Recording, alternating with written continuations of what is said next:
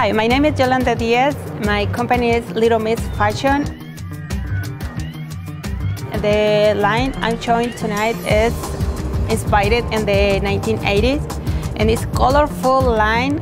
Uh, the name of that line is Bright and Warm. I hope you enjoyed it.